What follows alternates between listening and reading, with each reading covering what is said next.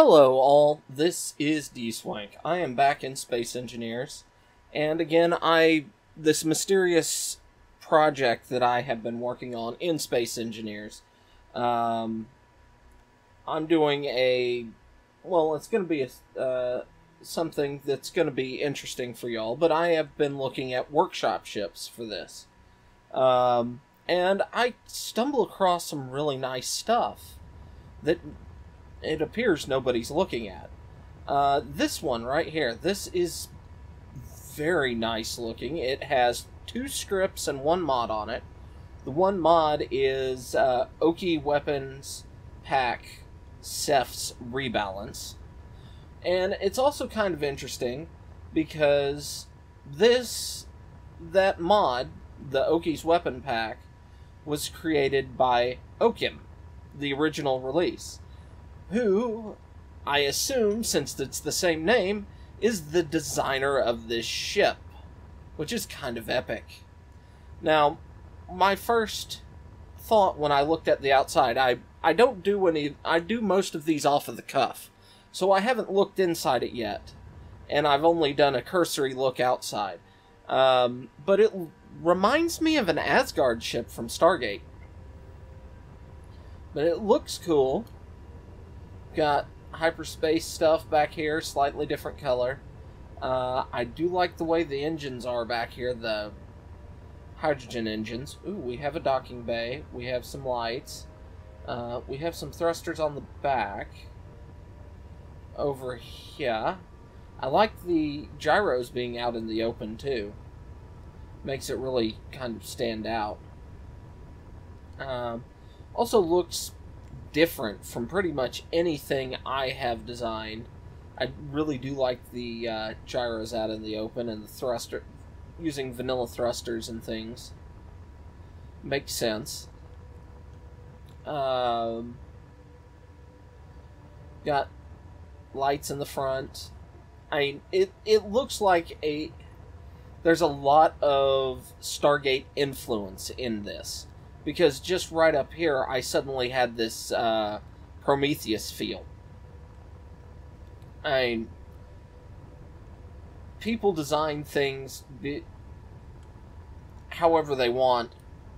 They're based on personality, and your personality, who you are, is basically the sum of your memories. So if you watch, um, a lot of science fiction, it's of course going to affect your ship design. So let's go in, and I there's I play too many survival games. I need to map them all to use the same keys. Okay, so we've got kind of this secondary control area. Gatling turrets, remote control, okay air vents. So yeah, we've got a lot of control interface here. No maintenance exit. Maintenance exit, no to outside. Oh, cool. Okay, I like that. What's back here? Um, hydrogen tanks. I do like the fact that the... Um, oh, that's glass. I did not realize that. I should have, since... Mean, it's got a reflection to it. That's nice. It's does it have the dirt? Yeah, it's dirty. It's got a little bit of dirt on it. Uh, Gatling turret, remote control. Yeah. So there's that. What's through here? Reactor room. Nice. I like that reactor room. Looks looks pretty. I got the stuff down there. Uh, okay. It's reactor on same side. I bet it's mirrored over here. Yep. Maintenance exit. Oh, that's cool. This is the um, 3D stuff. Uh, three. That's one of the scripts. Basically, we see both of the scripts being used here. So that's kind of nifty. Alright, close that. We've got a tunnel that way, but we're back here. Uh, okay. Ah, what does this give me?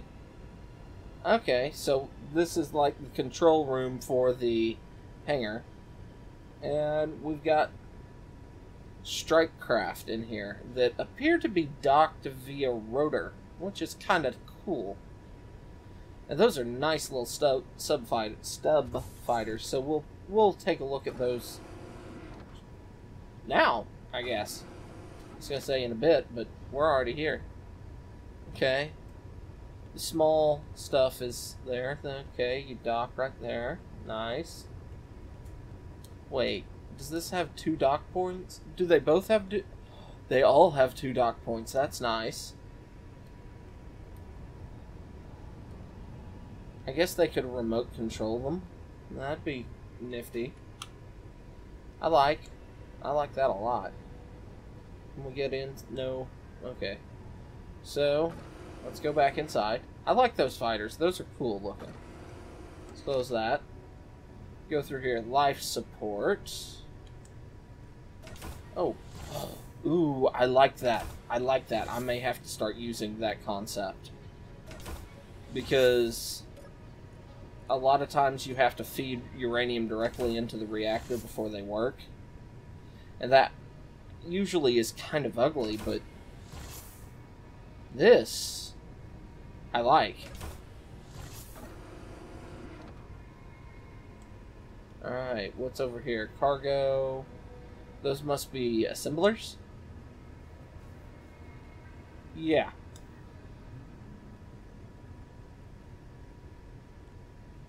That's nice and nifty. Uh, what's through here? I do like the light placement. More assemblers. No, those aren't assemblers. Are they? Those are those are oxygen generators, aren't they? Okay. Close. through life support. Okay, we've got air vents, control, we've got computers tucked in, we've got a computer control seat, there's timer block, oxygen tanks, that's nice, oxygen generator. Yeah, I think those must have been assemblers over there, but um, not sure. So, through that, I guess this is just a long-necked ship. So we got medbay, and oh, I like the way the windows are done here. Um, the only part of me that's torn is the fact that, oh wait, is that a double-layered window? I can't tell, and I need to turn my interface back off. I just wasn't even paying attention. So we've got four cryopods, a med bay, and a couple of seats, and then the bridge. So this is not a very roleplay esque ship because there's no uh, sleeping quarters. But um, it's got everything you need for space engineers, which is nice and you've got the bridge. Okay, so this must be the captain's seat. You've got an engineer's seat. You've got an extra seat. I like the bridge. Ooh, that that adds a nice little flair to it. Okay, the green. Where? Okay. Oh, that is a painful cut. Those are painfully colored lights for my eyes uh, Gatling ammo, speed, dampeners, da, da, da. GPS coordinates, battery outputs, total output, ingots, summary. Yeah, the only only thing I think that would be somewhat advantageous to put somewhere on the on the ship. On the ship somewhere. Oh that's an airlock out. That's nice. Would on the bridge since most of your fighting crew is going to be here um, or your operations crew would be to have like a a status report or health report of the ship somewhere. Maybe not directly on the bridge but if you're in combat the engineer needs to be able to uh, know where he needs to go and maybe here? I don't know if you could. I don't know if that the catwalk is taking up this block or the block above. I can't really tell. I think it's taking up this block. So uh, but hiding a lcd somewhere might not have been a bad idea. But uh, that other than that one room that uses it. But i I like the ship. I like this corridor. I like this corridor, this specific part of it. It feels the right type of claustrophobic for a ship. Like that. This is a little.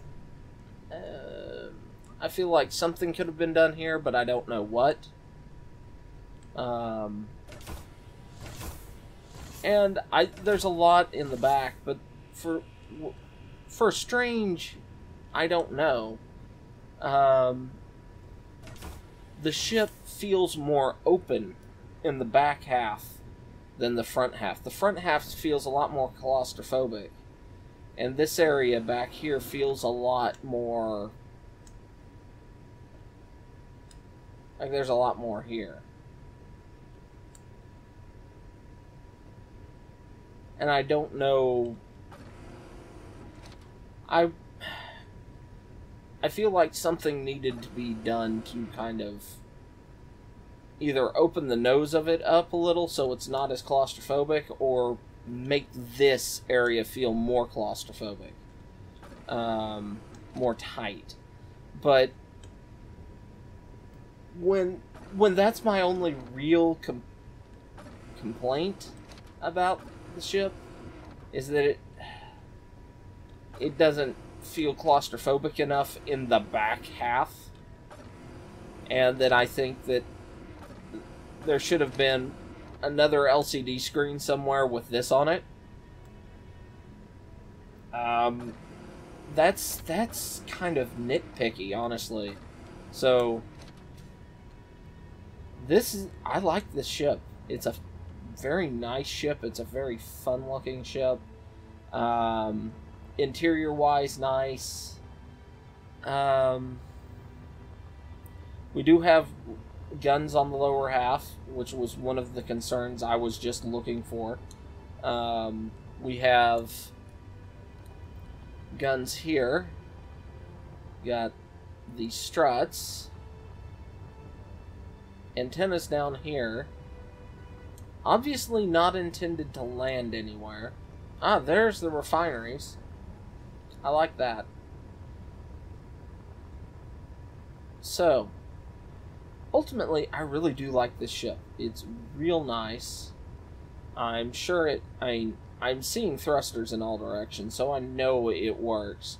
Also, anybody who is a modder that can put together stuff like what uh, Okim has done with the the original release of these mo- these weapons, I'm willing to bet that they're a competent enough builder to not forget the basics,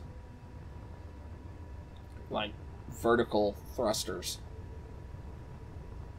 And my voice just my th- I've been fighting get it being sick for the past week, so I'm sorry that my voice is doing weird things while I'm recording. Um, but yeah, I I love this ship. I really do. It's got enough of its own to make it stand out and be different, but it's also it's got hints, enough hints of other in it that I can see where or at least I believe it does. I I don't know because I'm not the designer. I can't say. Well, technically, it's not Stargate. It's um, some like Battle Beyond the Stars or something, something strange like that. So I don't know. I can't say for Stargate for sure, but yeah. I also really do like what the half blocks have given us. The shapes that we now are able to do with the half blocks. They really. They've added so much to designing. So, uh, with that, I think I'm going to wrap this up. Uh, I hope you've enjoyed this. I'll have a link to the workshop page for this in the description below. Uh, go ahead, download it, give it a go. Uh, leave a comment, tell Oki how much you, or Okim how much you like the ship. Leave a comment, tell me how much you like the ship, how much you like these spotlights, and I will see you next time. Until then, bye bye.